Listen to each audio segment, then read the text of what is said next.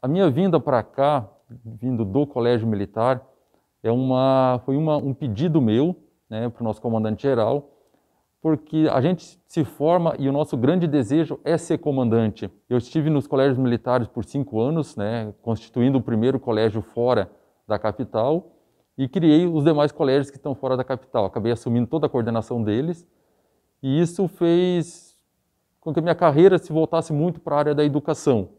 Mas a minha formação é de policial militar.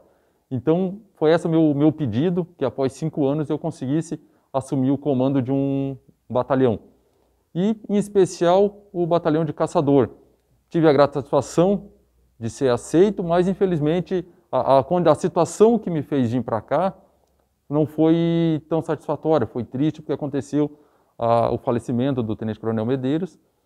Mas eu vim para cá satisfeito, vim feliz, né, muito contente e espero conseguir desempenhar um, um papel muito bom junto à sociedade. Qual será a metodologia de trabalho do senhor aqui no 15º Batalhão? Vinha sendo feito um trabalho muito bom, a gente quer dar continuidade a esse trabalho. Né? Ah, vamos ter alguma, algumas mudanças, não na, atividade em si, mas a gente quer uma aproximação mais na, na social. Então, estamos criando, já elaborando projetos em cima da própria cavalaria, para trabalhos com a educação especial, para trabalhos com a ecoterapia, fazer voltar mais né, o, o batalhão para a sociedade e voltar principalmente para as comunidades assistenciais.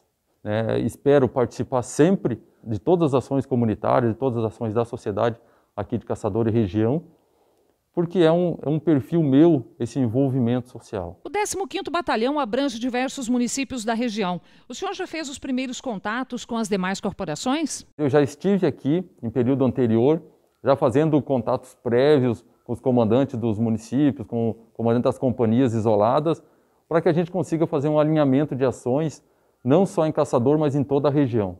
Coronel, estamos em um período de pandemia. Em todo o estado ocorre um aumento de ocorrências de perturbação do sossego e aglomerações. Existe um plano para trabalhar em situações como essa? Existe um planejamento que não é só de caçador, mas um planejamento a nível de estado, onde a gente atua com numa sala de situação onde a gente faz estudo de casos, todos os casos individualizados, tendo uma, uma resposta do pronto emprego na, nesse tipo de ocorrência.